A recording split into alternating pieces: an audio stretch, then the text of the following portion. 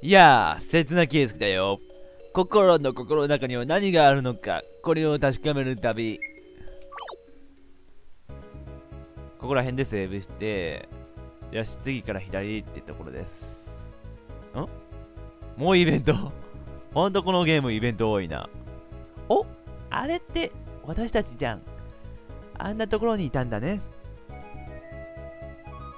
こんなところで一体何を？さあ、何をしてたっけな？とりあえず近くに寄ってみようよ。お花摘みでもしようかな。あっちゃー、こんなところにまで邪魔が入るか。敵が来たね。そう簡単には通してくれないようですね。しょうがない。それなら、力ずくでも通してもらわないと。わいつものと違うぞ、これ。なんかいつもと違う、これ。な、なんか、え？これまではこの4種類の不安、憂鬱、嫌悪、孤独のどれかそのままが名前の先に来とったのにってパターンやね。つまりこっからは、これがどれどれに当たる、どの属性に当たるのか読んで、それの弱点をついていく形になるね。寂しいってことは、孤独か。えー、つまり、多分剣王に弱い、こいつ。あれ？違う。あれ？違うん？ダメですな。寂しいじゃ、え、寂しいっていうのは不安って意味？え？寂しいって孤独ってことじゃないんだから、え？あれ？俺弱点つくん間違えとんかな？あ、間違えた。これ憂鬱が弱点に強いんだわ。憂鬱が孤独に強いんやな。やけん、こっちじゃ。いやこれじゃ。そういうことじゃ。間違えた。すげえ。やっぱ、なんか、か多分これ中ボスなんだろうね。ちょっと強いね。憂鬱。いけダメージがなかなか通ってない感があります。憂鬱。わあ、心ばっか狙ってきてないか、こいつら。そろそろ回復アイテムの使い時かもしれん。ダブルショット使ってみよう。ああえ？あ、2回攻撃なんだよ、これ。2回攻撃した分、ちょっと、ダメージがいつもの通常攻撃よりも、弱点ついたやつよりも高いかな。ようやく HP 回復のアイテムが必要になってきたね。で、よう考えたら近くにもセーブポイントあるけど回復ができるんか。とりあえずこの戦闘を乗り切ることだけを考えて、ダブルショットいけ。ダブルショットの方が強いね。こっちも使っていこう。レイやって。光線ベーム。あ、あれ？今外した？ちょっと待って。あ、今の攻撃か。それ通常攻撃の方がダメージ高いんじゃない？多分そうだと思うんやけど、パッと見。やっぱ硬いな。あれ？見た感じ、右のこっちの方が攻撃力高いかな。それで比べてこっちはどっちかって言ったら低い感じがするな。先に右の方倒そうか。今更やけど。優秀って何？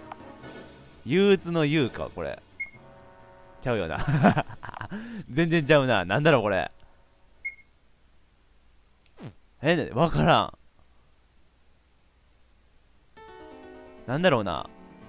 わからんな。不安かな。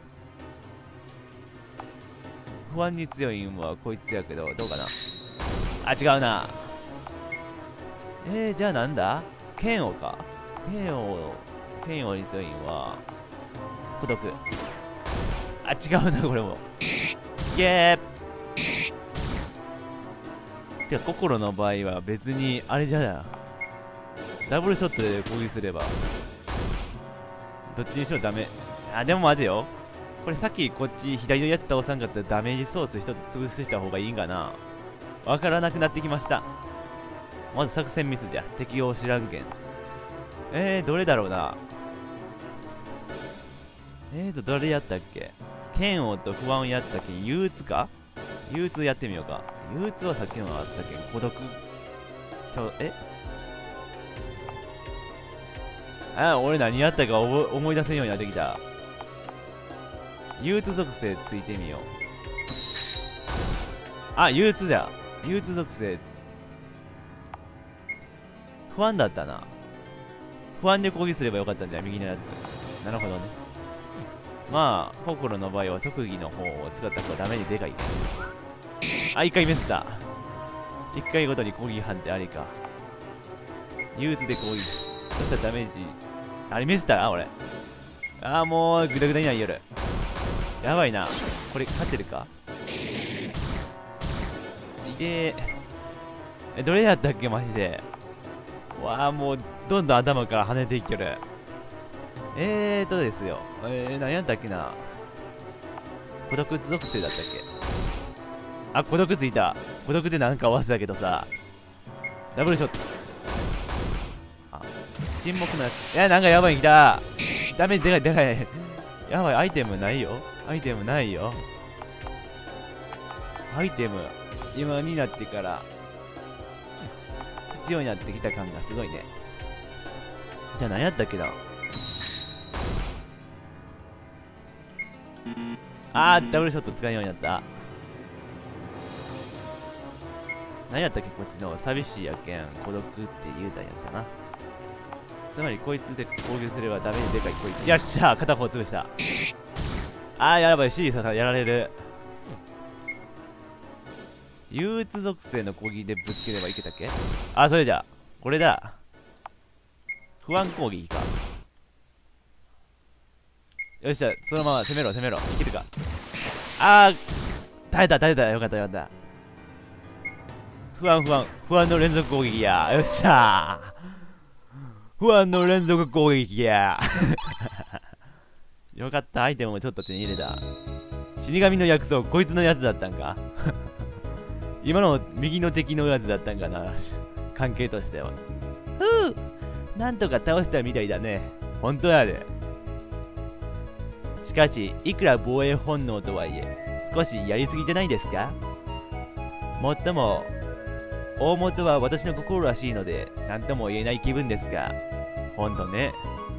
うーん、まあ誰だって自分の心の中に他人が入ってきたら嫌じゃない？心はシャイだから、それがちょっと強いだけなんじゃないの？言われてますね、心ちゃん。そんなもんですかね。さあ、それよりも私たちよ。心の記憶を取り戻す第一歩よ。回復させてくれんかな。セーブポイントあるんやけど、そこで調べたら回復できるやん。なあ、あんたたちもう息の根やで。あ、虫の根やな。息の根ってなんだ 息の根、虫、え？虫の根でやったんやけど、虫のい、もういいやもん こちら、シーサ隊員。過心と昔りさを発見しました。ただいまより監視を続けます。どうぞ。この子ちょっとふざけすぎやない？お笑い芸人レベルでふざけとうよ。変な寸劇は言いませんから。っていうか、別に見えていないんだから、姿を隠す必要もないでしょう。その通りやな、よう考えたら。それはそうなんだけど、なんていうか、ノリ？それよりも、何か二人で話してますよ。聞き取れますか？お花摘みしょんちゃん。それで、シーサさん、一体何の用なんですか？私、これから都市の方まで行って、いろいろと買い物買い出ししないといけないんですよ。ふっふっふ。実は、とても素晴らしいものが完成してね。これを見てくれたまえ。なにこれ？ネックレス？これは、ネックレスですか？まさかシーサさんからこんなおしゃれなものが出てくるとは思いませんでしたよ。シーサって結構おしゃれとか 戦タイプなん？年頃の女の子で可愛らしいのに。ああ。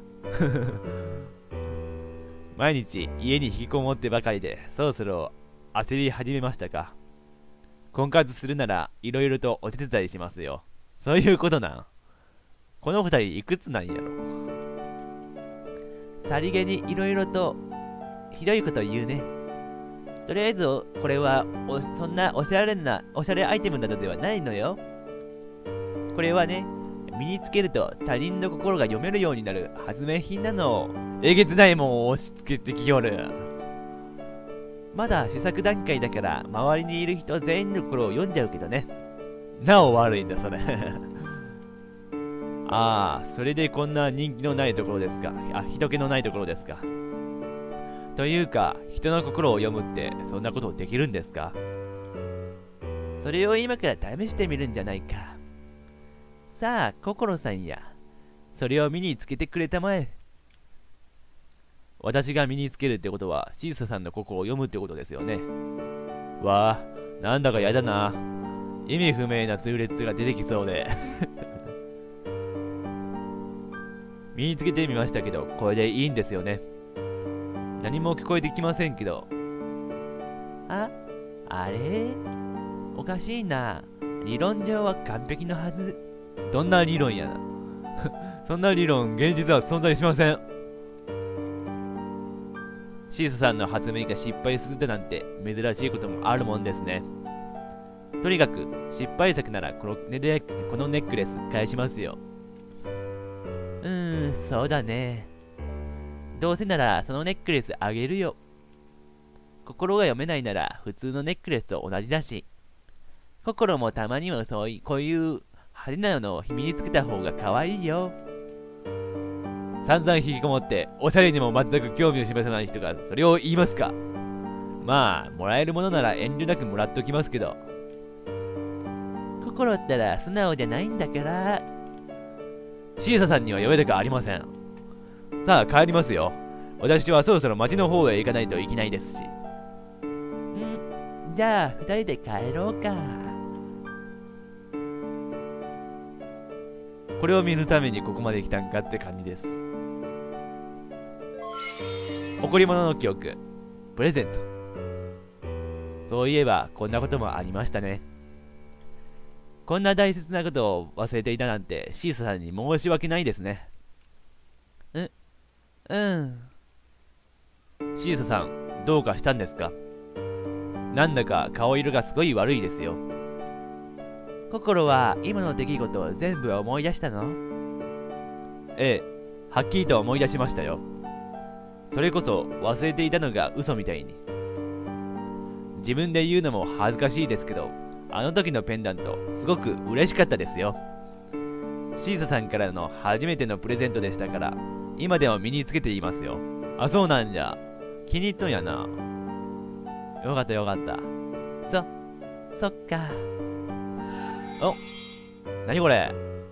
また火の玉どうやらまだ続きがあるみたいですねこの先に私の心の傷の原因があるのでしょうかと、とりあえず行ってみようよ。そうですね。ここで考えてでも何も始まらないでしょうし。まずはちょっとこっちで回復しとかなな。いえっ、ー、と、虫の一気の根ってやっとんかな。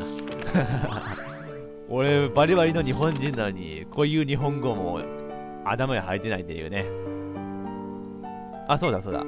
エンチャントエンチャント。あったよね、今増えたやつで。これは、心限定のやつかないやね、贈り物の記憶。何かを外さなあかんのやけん、何かを犠牲にして、何かをあげる感じになってしまう。意志力、意志耐久、憂鬱ダメージ30%減少。ってことは、攻撃力を上げるんやな、これは。攻撃力の代わりに何かを犠牲にしようかぐらいな感じかな。えー、あれ？これと一緒じゃない？やちゃうな。意志力を大きく上げるか、耐久力を大きく上げるか。攻撃力と防御力どっちを優先するかってことか。じゃあ攻撃力優先するけど、このままのままにしとくか。このままのままってのは アイテムも増えたな。よし。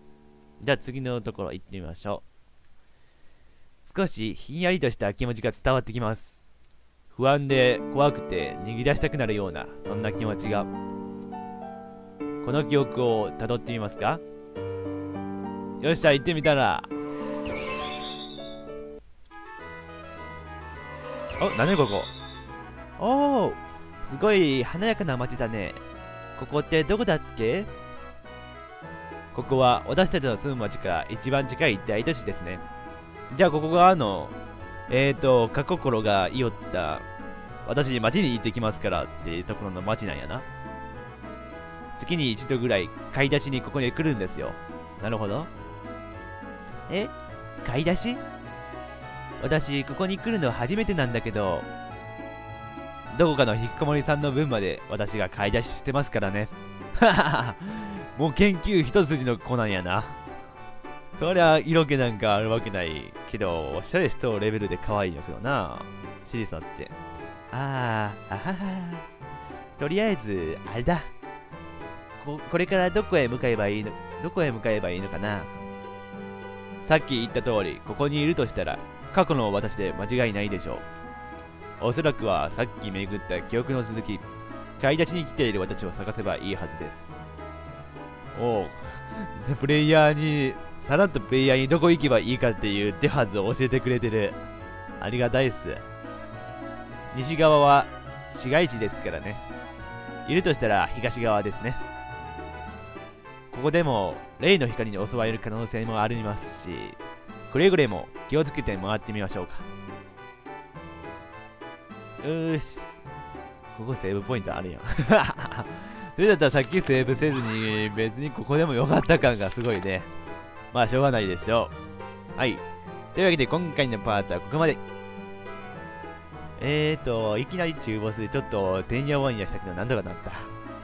こういう戦闘も難しいところもあります。ちょっと回復アイテム欲しいけど、まあいいや。